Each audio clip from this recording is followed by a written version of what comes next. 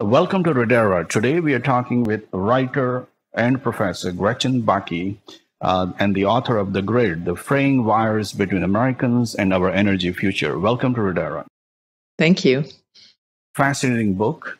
It's uh, engineering marvel, something that we take for granted, but we rarely understand only when it breaks, which doesn't happen that often, but increasingly it's happening more and more. Tell us what the grid is and why we should care about.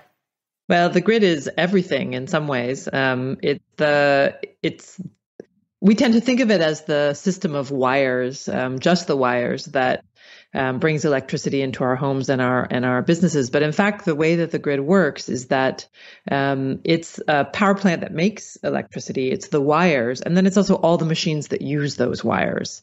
Um, and those machines are everywhere in our life, from your cell phone um, in your pocket. It's not plugged in right now, but it is part of the grid because uh, it doesn't work unless you plug it in. Again, electric cars are the same thing. They're part of the grid, even though they're driving around. Um, and then there's more basic things like your outlet, your your power strip is a part of the grid, your dishwasher is a part of the grid, um, you know, a printing press is a part of the grid. Essentially, anything that runs on electricity um, in our world uh, is a part of the grid, and then the wires, uh, and the towers, and the substations, and the transformers, and the um, generating plants and all of that sort of more technical side. Um, and so I include all of that uh, when I talk about the grid. I mean, really the electrical system. And it's growing. Um, money uh, is now electric. Um, so it's not just it's not just lights. Um, it's not just machinery. It's also information. Our lives in this country and many parts of the world now relies more and more on computers, and computers are driven by the fuel, which is electricity. And mm-hmm. we do not think about, uh, as Americans, the users of electricity, as uh, we think in coal, in terms of coal, oil, solar, wind, but we don't realize we are the consumer of electricity. And the electricity runs on the highways and they are called grid. Yeah, absolutely. And I think that so much of the discussion of fuels, it's an important discussion to be having right now with global warming, but it ignores in some ways that we don't, like most people have never touched a lump of coal. Most people have never interacted with oil, maybe with gasoline in their cars, but not with oil coming out of the ground. Natural gas, certainly not. Uh, so there's a way in which the we have one kind of power source that runs our world, which is very intimate, and another sort of set of fuels which are not intimate at all, which are always at a distance, always part of conversation. Um, and yet we think mostly about those ones. And so with this book, what I wanted to do was just sort of bring that conversation closer to home. Mm-hmm, mm-hmm.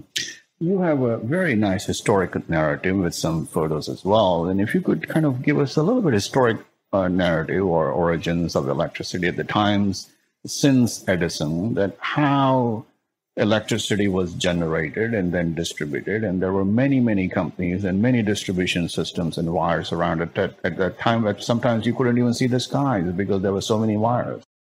yeah, absolutely.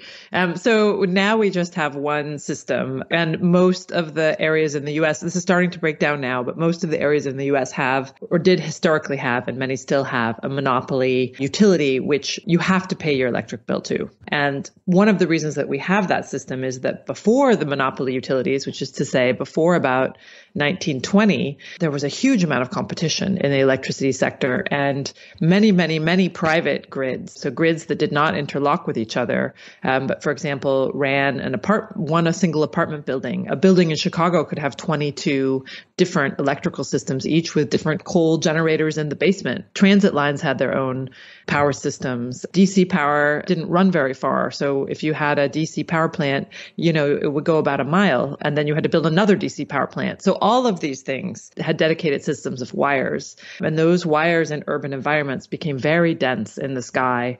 And the, the other thing is that there was also telegraph system at that time and some beginnings of telephone wires. So all of those wires were in the sky too. And then when companies would go out of business, they would just leave their wires up. And so it was, it was a giant mess.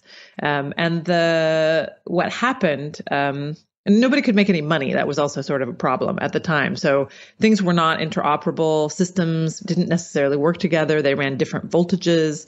When alternating current became sort of more the norm in the 1890s, there were many different frequencies of, of oscillation.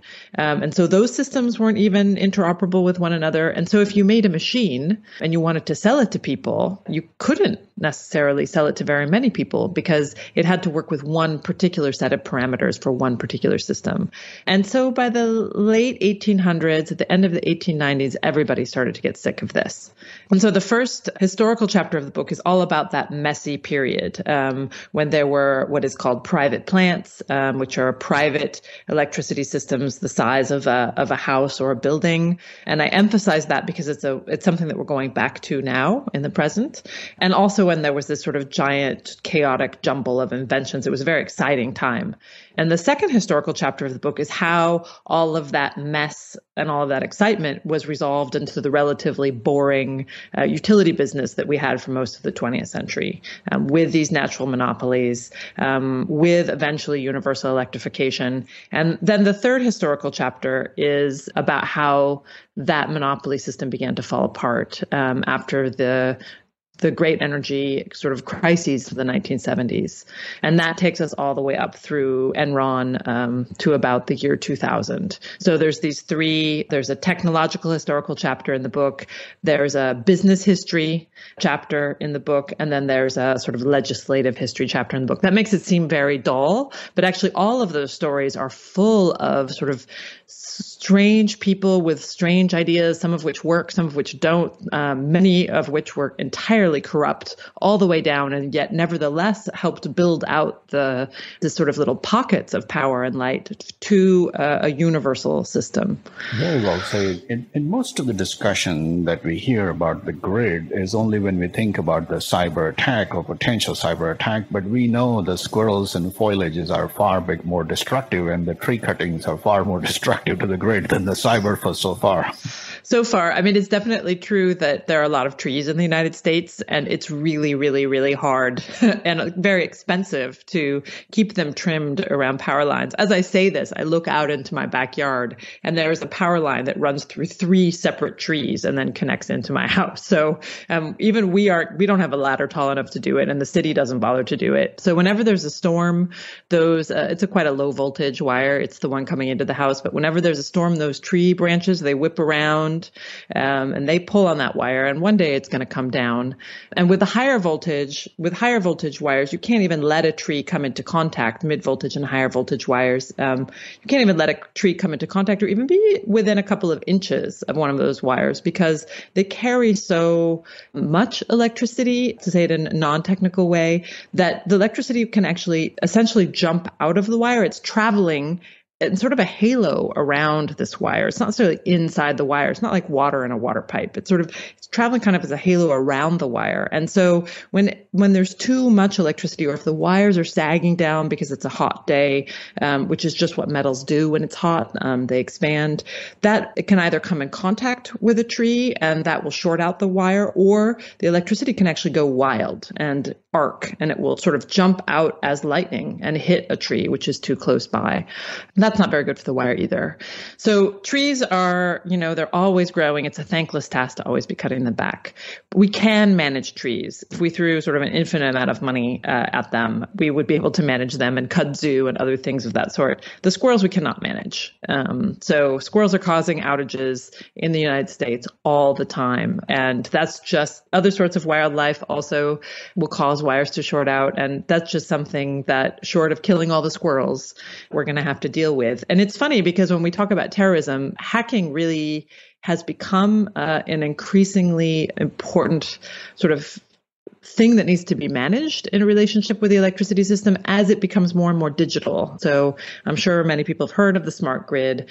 Uh, much of what that means is there's just a lot more information traveling on electricity wires, and there's a lot more, everything is more digital. So if you have a digital smart meter, the information from that meter is being sent wirelessly to a pole, and that is being sent either via the wires or wirelessly to somebody who can pick up the information and be, have a, a better sense of what uh, how much your electricity your house is using and when And that all becomes hackable.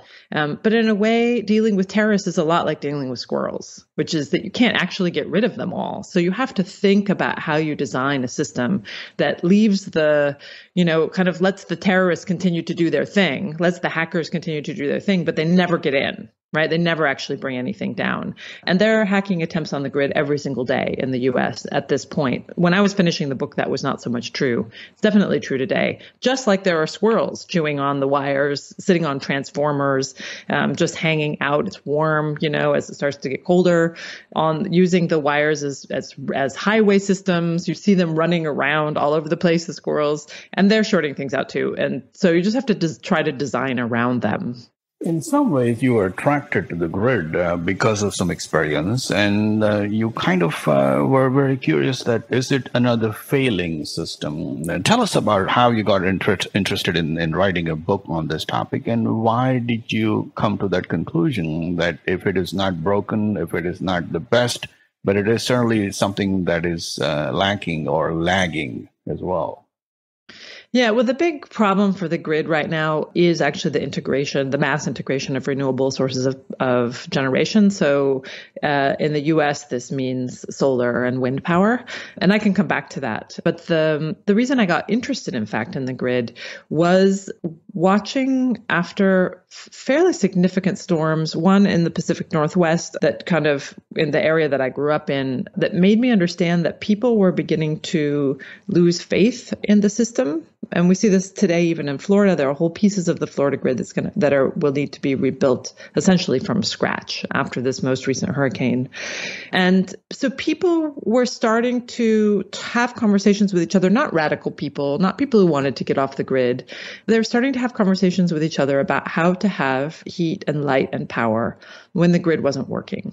And so reliability, and over and over and over in researching the book, reliability was uh, one of the most significant issues that was causing causing grassroots changes. And again, by grassroots, I don't mean you know aging hippies necessarily, just people who are tired of having their power off all the time uh, and are trying to figure out ways to work around it. So that's that's what got me interested in the project was this kind of loss of faith. I tend to say I was just talking to some to some people in Ireland and they said it's not a loss of faith, it's a loss of trust. And so I'm still thinking about that. But either way, trust or faith, the electricity system that was provided by the utility and which people often think of not as being a utility project, a business project, but actually being a service of government, they they kind of just turned they were like okay that's great when it works but what else can we do? What can we do on our own? We saw this after sandy as well superstorm sandy in in new york. The same set of things happened after the earthquake that happened i think in the late 1990s in the san francisco bay area. The same set of things happened. So there's this kind of moving away from expectation that the system will work that then ha- creates all kinds of intervention in the system. And so this attitude changed at about the same time that the utility monopoly was being broken down, and at about the same time that renewables began to enter into the electricity system, really in vaster and vaster numbers. Um, and so all three of these things became tracks that I was following through the contemporary moment. The history is there to sort of allow the reader to understand how we got the system, which is now being restructured, uh, reimagined, rebuilt. And so it, was failing. It was old. It needed work, but more than that, what needed to happen was a reconceptualization. And that is very much underway now. Mm-hmm. Just to kind of give a quick uh, background to readers, uh, listeners, we have roughly about 20,000 power stations kind of uh, spread over the country, and, trans- and we have 160,000 miles of electric wires that transport high voltage electric power. And people may not realize that, that, that this is on top of that now we have renewables and renewable energy and alternative energy is creating quite a bit of havoc on this uh, grid. I don't want to steal your thunder, but would you give us uh, how renewable energy has become a challenge and a problem in managing the grid, and which is really the, at the heart of the blackouts? Yeah, so the in two different ways. One is sort of best exemplified by wind, and the other is best exemplified by solar.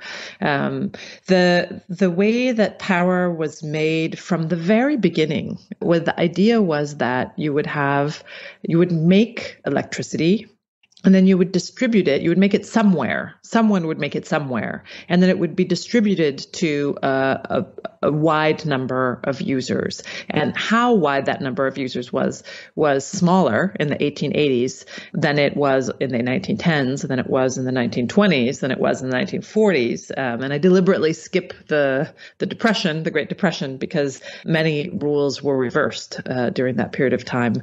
But the the, uh, the general idea was somebody is making power, somebody has control over the making of power. They then transit that power to somebody, to places where people will use it, and they sell it to this variety of users. Uh, and the users pay a bill, and then that helps pay for the system. As power plants got bigger, uh, they were always very dirty. Coal burning coal for electricity is a very, very dirty project. Uh, they, especially those kinds of plants, they moved outside of urban areas. We were able to transport transport electricity very far, further and further and further with alternating current, and so we didn't need a power plant right in the middle of where we lived. And my grandmother, she talks about uh, living in Chicago when she was a child in the 1920s, and that she would you could actually just wipe before dinner. You would just wipe all the coal dust up off the table. So one of the reasons that instead of having those plants right downtown was just for the the sheer amount of pollution that they produced. They still produced it, but they didn't produce it where we lived. So that's called the central station model of electricity generation that like having a big power plant and then a bunch of customers that are somewhere else. And wind power still does that. It still tends to be you tend in the United States you tend to have big wind farms that are far away from where people are living and they're managed by one particular company. But solar power does not. There are big solar plants, but by and large, solar power is something that people are putting up on their rooftops and they're selling the very much smaller amount of electricity that they produce back to the utility who's managing this whole system. So the power is being produced where people live and it's being produced in very small amounts. So you have a power plant on aggregate in some place like Phoenix, but it's not a power plant that works in the same way that a big power plant outside of town works. And the, the market of that is very strange because the utility actually buys at uh, your solar power at the retail rate. So you sell it at the retail rate, but then they have to resell it to someone else at the retail rate. So it's very difficult for them to make a profit um, given the current system. So they have this shattered power plant, they have electricity moving in two directions on the distribution system, which is the local system of wires in, in where people live. Whereas before it only electricity only moved from the power plant into your house. Now it moves out of your house and into the system and into other people's houses. So that's one problem with renewables. And if we move towards small wind, which it seems like we're not doing in the US, but it is happening in places in Europe for sure that people will just, a farm will just put up one wind, wind turbine. Even if it's a big one, there'll just be one. That will start to become an issue also about where this electricity is being made, how much, when it's being made, nobody knows, and how the system then can deal with this new source of electricity. The other problem, and and it's just as big of a problem for managing the grid and keeping uh, the grid working in good working shape, is variability. So when the when you have a coal-fired power plant, it's some manager somewhere who says, "Here's how much electricity we're going to make during the day, and here's how much electricity we're going to make at night." People use a lot more electricity during the day. And so you have to make more because the big secret of electricity is that you can't store it. So if you're, if you turn on a light in your house, that electricity is being made somewhere in one of those 20,000 power stations in America at exactly that instant exactly that instant. There's maybe a minute of, of wiggle room that you have. So what we use uh, we just it just seems very natural that there always be enough electricity for us no matter what we're doing. But that is that electricity is being made according to our whimsy. So that used to be managers dealt with us as kind of a set of, of averages and could plan out how much coal to burn or how much water to let through a big hydroelectric turbine in order to deal with the fact that people in America tend to get up at the same time every day and turn on all their stuff. They tend to come home at the same time every day and turn on all their stuff. In the summer, they use a lot of air conditioning. So that means you need to make more electricity. But when you have the wind, the wind blows when the wind wants to blow. And to some degree, we can now predict it. When I first started writing the book, that wasn't it, the predictability of wind wasn't even a big part of what was what was happening. What was happening was that uh, individual businesses, often multinationals, were building wind farms where it was windy. And there might not be high voltage power lines out to those places. Um, there might not be people to use that electricity. Um, and then the wind would sort of blow and still and blow and still according to its whimsy. And so then you have whimsy on both sides of the system, which has to be perfectly balanced in order to work. And so that has been the big problem of renewables. And we're working it out.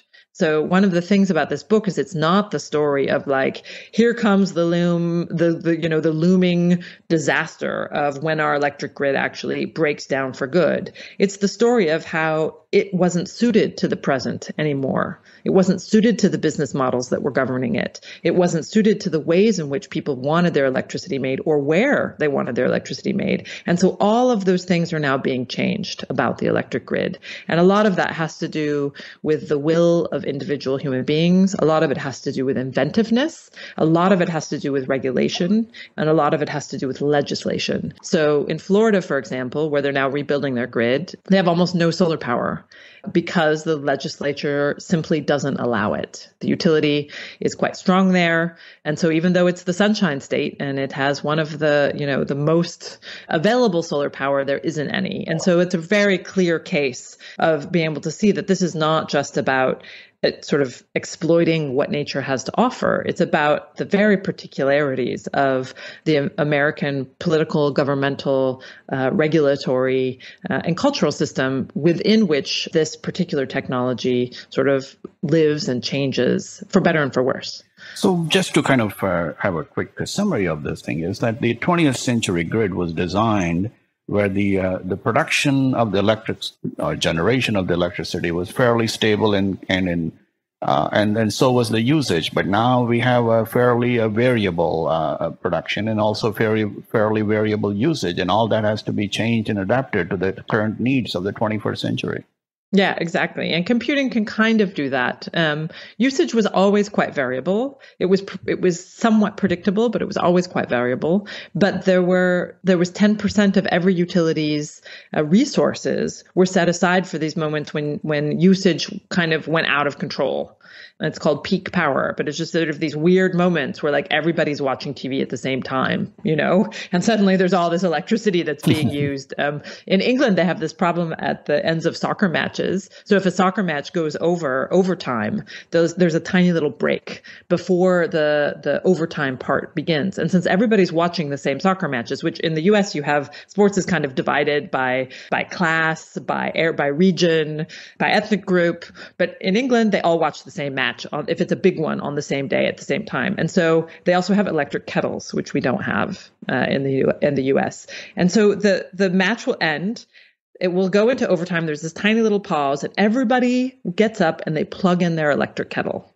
And this moment is like the biggest surges of demand on the grid mm. above and beyond anything else that the English utilities are dealing with. And so they have to have all these resources set to the side just in case a soccer match goes long. Wow. And I think as users of electricity, we never think about that. We never think about like, how is it that when everybody plugs in their tea kettle at the same time, the grid doesn't actually crash? But it takes a lot of work, uh, a lot of thought. It takes a lot of money.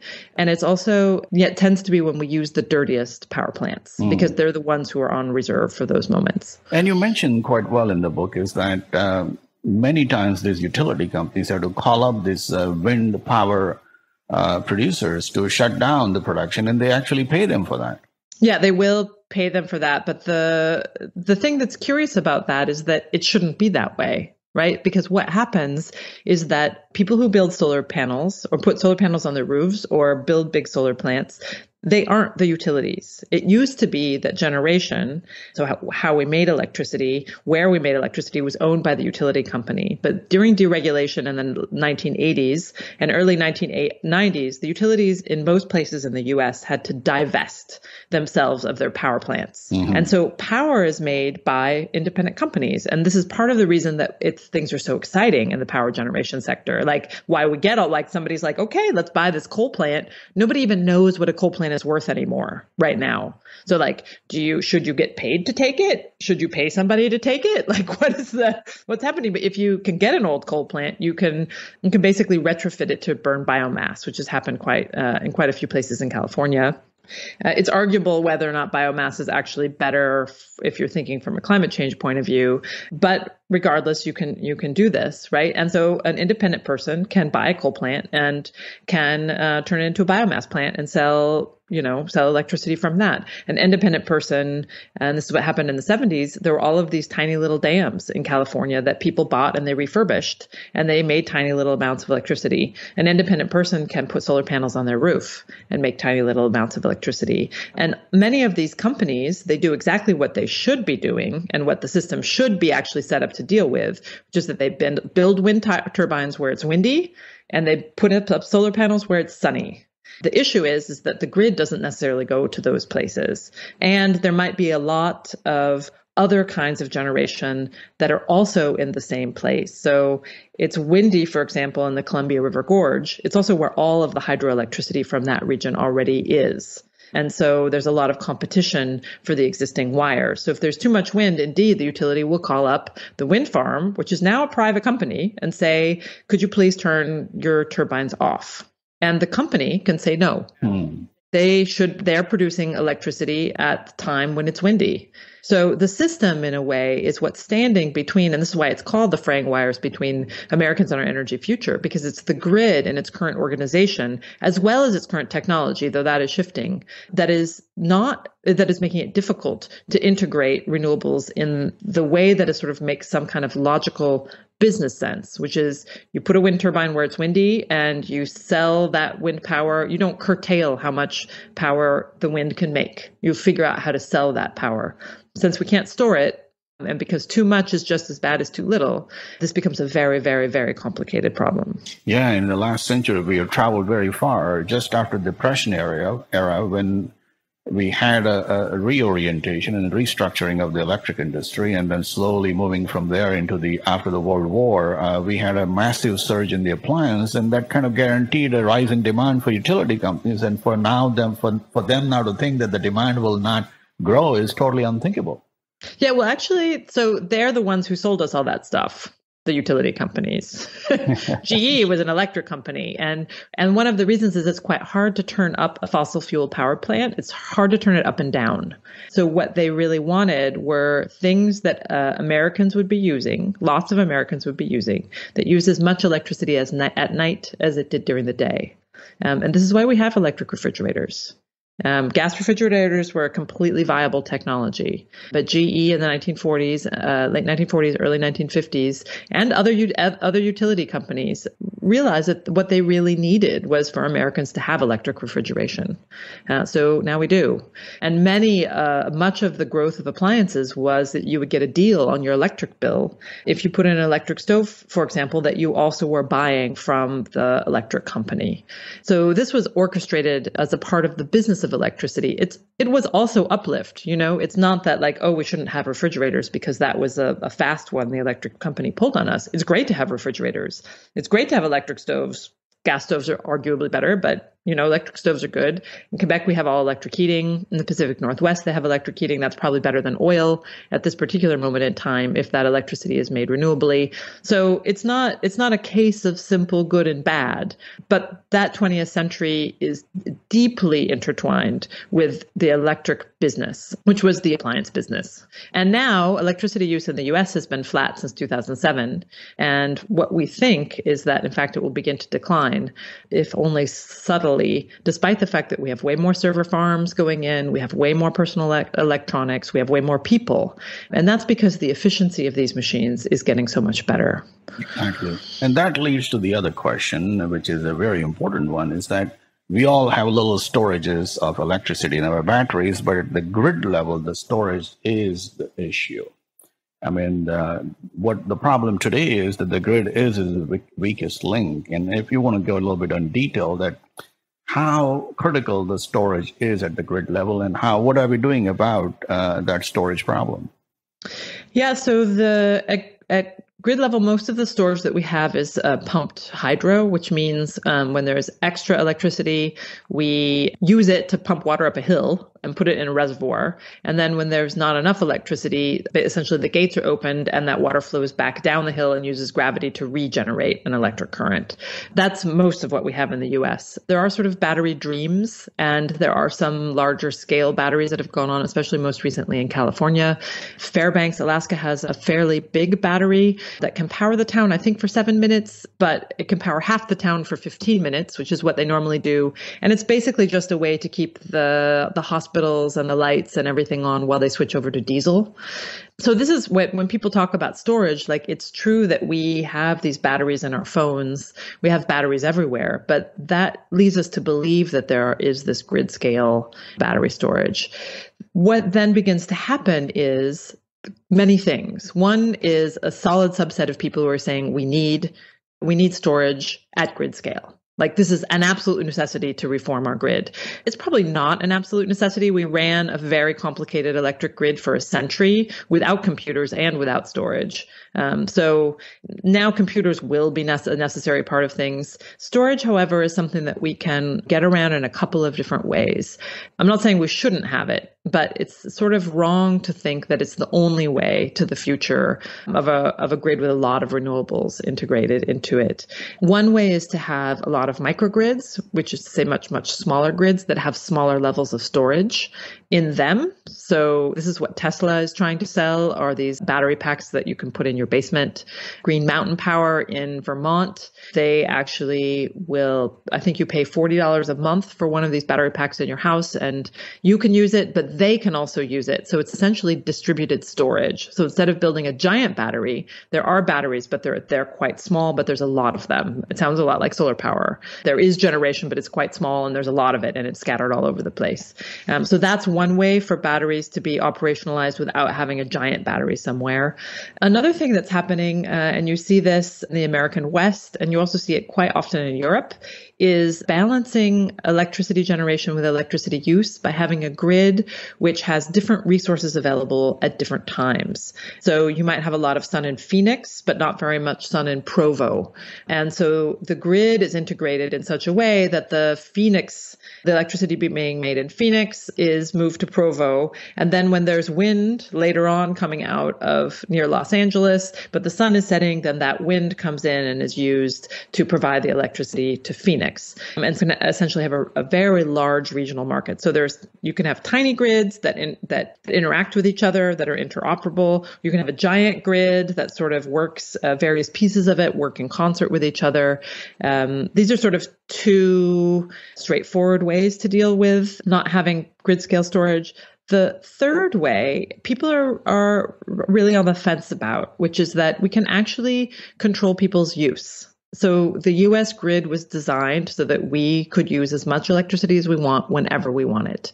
Avarice, you know, crazy ideas. You can run an electric kiln in your house if you want and just turn it on whenever you feel like it. And the system is built to make sure that that electricity is available to you. What people are talking about is putting some sort of price system in and definitely smarter electronics so that you would know or your phone would know or your electronics would know that right now electricity is quite expensive. And then your dishwasher can say, right now, I don't actually want it. I'm not going to turn on right now. I will turn on when the electricity price is lower. And that's a way of balancing production with consumption by actually managing consumption.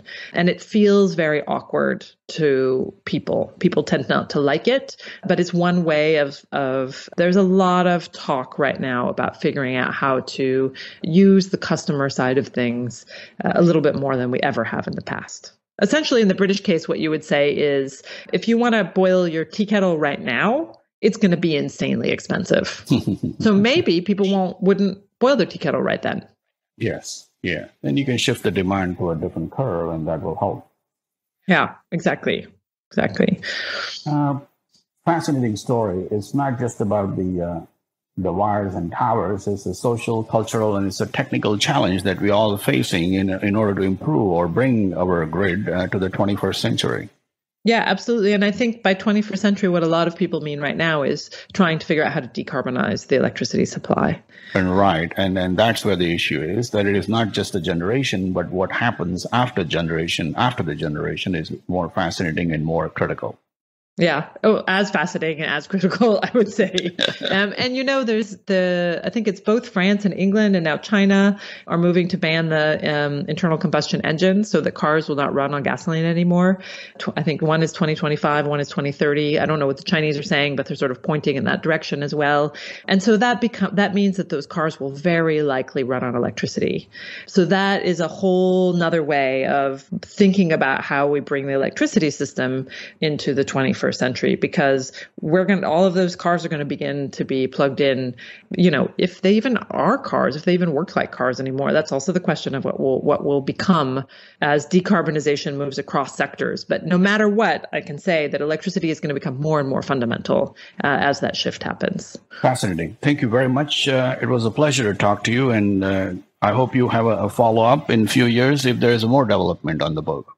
Oh, there's plenty to say. There's always plenty to say. In some ways, the book is already uh, ever so slightly out of date. Um, I, I, urge people to read it in order to understand what's happening today, uh, right now, because things are moving so quickly in terms of reforming the electricity system that it, it's flabbergasting, especially given how things were when I began the book, which was this very, very slow sort of dawning awareness that maybe we could we could do things differently. Thank you very much.